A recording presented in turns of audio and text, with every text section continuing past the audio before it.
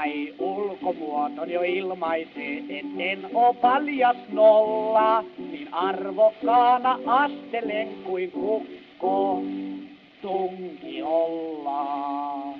Käyn seison, käännyn taas, toinen jalka aina maas. Ja virkani puolesta käskyjäin mä jakelen, ai näin. Herra on hyvä ja hajantu ilman pahempia seurauksia. Kenen kanssa voidaan tuossa kävellä ilman kuonokoppaa? Eikö minä ole sanonut, että sillä pitää olla naru perässä? Ja mitä te pojat siihen minua töllistelette, eikö teillä muuta tekemistä ole?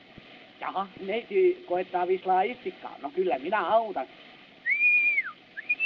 Posikka, posikka, no etkö sinä kuule?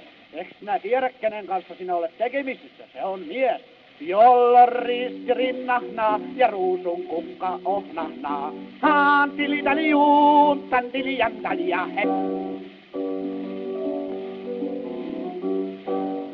Mä jäljes pyysyn karkurin, on maata sit tai merta, ja tavallisesti kiinne saankin aina joku toinen kertaa.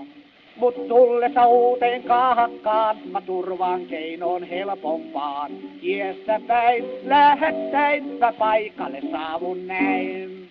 Ja kuka se olikin, joka sitä äijää löi?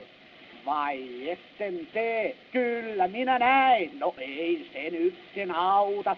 No mars putka vaan. No ja ja, no te seisotte kuitenkin siinä vieressä. No vieläkö vastusta? No eikä tämä asia sivuulliselle kuulu.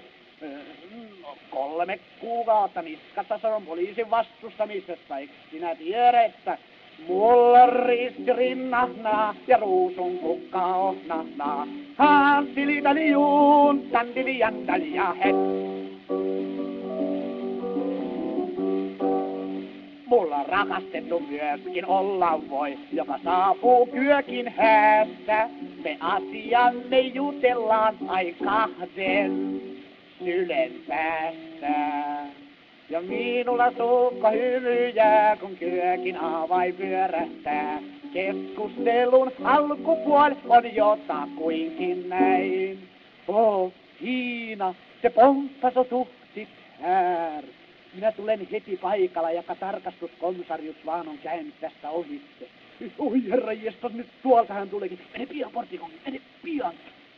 Kaikki tarpeen mukaisessa kunnossa, herra komisarius. Aina vastaan yksi onnipussi ajanut ryhtypylvään yli ja yksi poika heittänyt ison kiven munavatiin.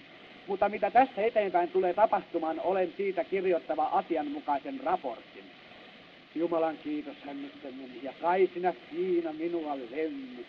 Sinulla on niin turvallinen olla, kun sinulla on mies rinnalla.